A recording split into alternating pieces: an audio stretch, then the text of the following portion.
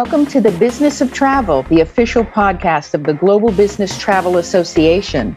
I'm Debbie Iannaci, Head of Global Communications, Public Relations, and Research for GBTA, and I'll be your host for today's episode. An ongoing commitment to education, training, and learning is not only good for our professional development and careers, but it's also good for us personally. GBTA has always recognized and delivered leading programs for our members and the industry, whether it's in person, live streaming, or on demand. And currently, the GBTA educational catalog boasts thousands of courses, webinars, certifications, trainings, and more. Today, Jill Koronkiewicz, Senior Director, Education and Engagement for GBTA, is here to share insights on the overall education program available to GBTA members.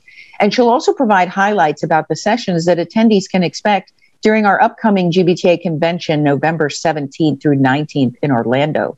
Welcome, Jill. Thanks so much for joining us today. Thanks, Debbie. Happy to be here.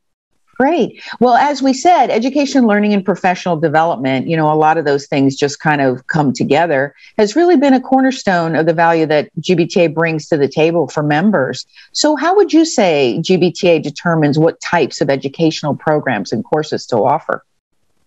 Well, of course, we listen to our members. Um, we, we actually have 21 committees uh, that are all volunteer and they focus on areas that are critical to corporate travel professionals.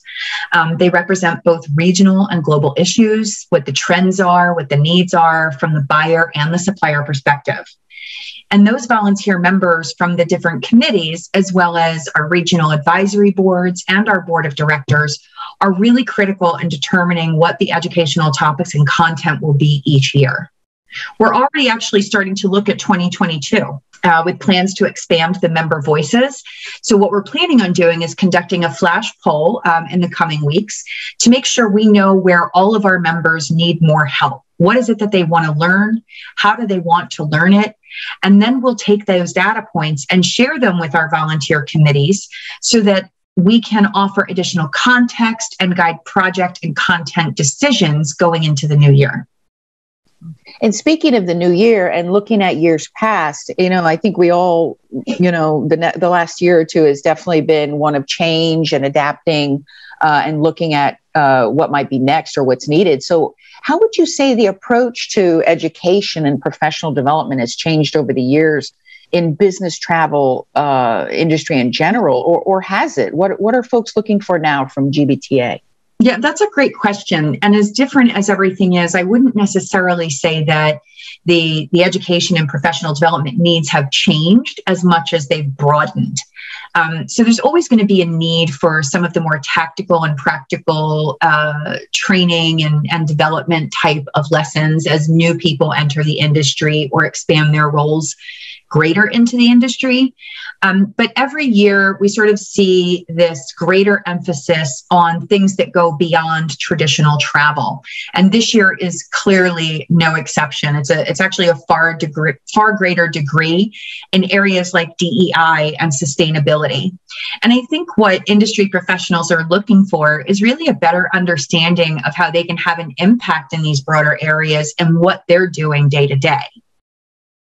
Right, and that's that's really important, especially as we look out uh, into what might be coming next. So, when when you're thinking about our GBTA members, what are what are some of the consistently most popular or widely taken education courses that everybody's uh, involved in?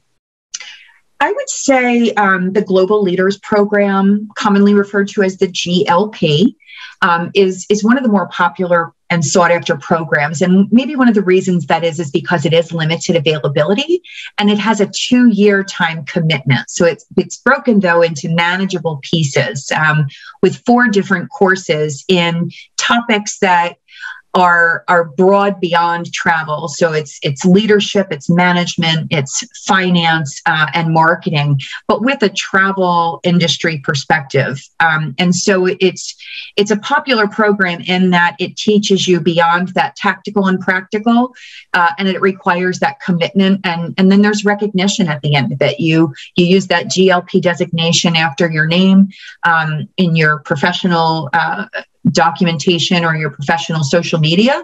Um, and then those things are recognized at convention as well. So we, we like to make a big celebration because this is a long, a long process to actually get there. Um, and then this year, we're excited that we can acknowledge and recognize those graduates of this program from both 2020 and the upcoming ones for the 2021 uh, program year during our main stage session on the final day of convention. Right, and that's great. It's quite it's quite a commitment and an achievement uh, for the people in the in the program. So it'll be great to see uh, everybody have that recognition and, like you said, that celebration.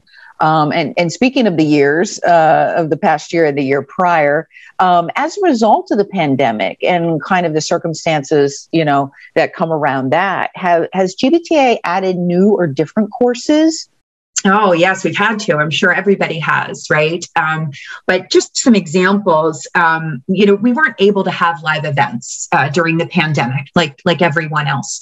Um, and so, what GBTA did was launch a virtual series, cleverly called Collaboratories, uh, in 2020, and they continued uh, um, into this year as well. And these are, are sort of longer virtual events, each of them including a specific theme for content. Um, and so, as an example, our last one is coming up uh, October 19th and is scheduled on the meetings and events. And it's really about what are the adjustments and changes uh, as a result of the pandemic um, that you have to make in each of these areas. So, meetings and events will be a very interesting one to tackle.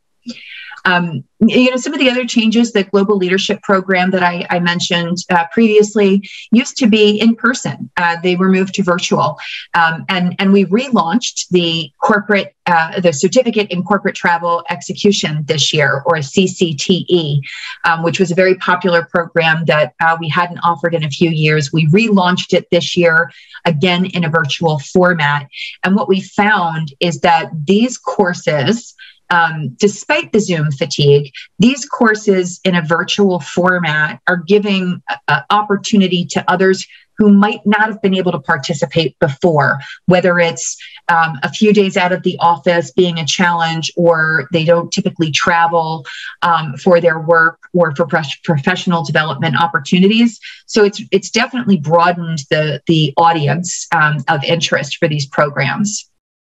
Right. And, and that's great that folks could continue to learn even in environments and really advance their career, uh, even as they're doing it virtually. Absolutely. Um, and while I, you know, there's no substitute for in person engagement, um, this is something that can help supplement that, right? And so I think we'll see that moving forward in general, uh, that we'll continue to adopt a mix of in person with purpose and virtual where it makes sense. No, that that's great. And and speaking of you know uh, opportunities for learning, uh, you might say that the GBTA convention is the annual apex or pinnacle mm-hmm. of a one-stop shop for for in-person learning uh, opportunities uh, and sessions. So uh, this year, GBTA is offering 50 education sessions at convention. Are there any sessions that are trending now in terms of where we're seeing attendee interest? Sure, we definitely are. So, one of the things that we're taking a look at regularly is the views um, on the website. So, each of the sessions on the website is listed with a description, and we're able to see how many are, are being uh, tracked or clicked on and, and, searched in areas of interest. And so, from that, I can see, you know, that our main stage sessions, uh, which are, are broader, overarching themes in the areas of the state of the industry, sustainability, the future of work, DE&I, and then wellness and balance. Those are definitely among the highest that are being viewed. Um, but we also have a, quite a few breakout sessions that are grabbing attention. And, and not surprisingly, they're in areas that are surrounding managing through crisis, right? We're still in a bit of a managing through mode, um, as well as sustainability um, because it's, it's got it when we recover, we have to do so sustainably. And then always, always, always very popular are technology trends. So what are what are the big trends that are up and coming in travel technology that can help make your program um, or your user experience better? Um, and then, you know, these are just sort of the standouts right now, but it's still quite early. We have sessions across 15 different topics and they cover different types of needs. So whether you're at a a fundamental level, an applied level, or, or you're looking for something more strategic, there are courses in each of these areas um, for, for you uh, to be able to take something away and move to that next level if you'd like. Um, so there really is something for everybody. It doesn't matter where you are in your career or what your goals are that you're trying to achieve uh, when you get back to the office or back to your home office, whatever the case may be. Um, but there's something for everybody to be able to apply and take away. Right. And I think, I think for, you know, what you've been talking about too is that great mix of what we might consider traditional topics in business travel, um, but also, you know, beyond that, you know, things that are bigger on the societal trends or things that travel managers may need um, moving forward to really think about, you know, what's coming ahead. Um, so when when we think about what I like to call the catalog, this catalog of educational greatness that GBTA has, literally thousands of learning opportunities, um, are there also a few hidden or underrated gems or new items that you think people should definitely be checking out if they haven't already? Oh, definitely, definitely. So um, we have a program uh, called Ladders and this is a mentoring program. Um, every year, this group orchestrates uh, small teams of mentees and pairs them with both a mentor and an alumni advisor. And for the better part of a year, they work together on an industry project that's around a broad topic. Um, just as an example, last year the topic was connection as the future of travel. And the individual projects ranged from the cost of not traveling to leisure policy um, DEI, and even a concept for an app plugin on traveler well-being. So it's really diverse, and the team takes it where they want it to go. Um, and the reason I think this is so sort of underrated or maybe a hidden gem is the fact that it is free. It is included with GBTA membership. There's an application process. Um, and so maybe not everybody can participate, um, but this is definitely something that people should be watching for you know, I wish I wish we had done this a month ago um, because the the application for the upcoming program um, has just closed, and and so I don't have I can't get additional applications applicants in there because of where they are in the process. But it is absolutely one to watch something that people can take advantage of now, however, uh, ISO um, 31030 has actually uh, launched some guidelines in travel risk management. And our team is very busy preparing for uh, launching a boot camp to help understand what these guidelines mean and, and how it might apply to them. And so uh, those courses start later this month. Um, and there are three separate courses available this year for people to take advantage of. And then finally, I think it's really important that everyone knows that we have scholarships. Um, so, our academy courses, which include the CCTE and the GLP, fundamentals and advanced principles of business travel management and strategics meetings management, um, and then the GTP examination as well. Um, we have scholarships for these academy courses. Uh, we had a, a very generous anonymous donor who stepped up to provide scholarships and help cover the costs for industry professionals to enroll in these courses. Um, and so a lot of people tend to sort of think, oh, it's a scholarship, it's an exhaustive process, I might not qualify. I promise you, it is such a simple process. And the qualification is that you are a GBTA or a GBTA chapter member. Um, every one of the registration pages has a link to scholarship application on it. So I would encourage anyone that's interested in checking it out, give it a try. It, will take you just a few minutes to fill out your own information um, and let us know what courses we can help you with.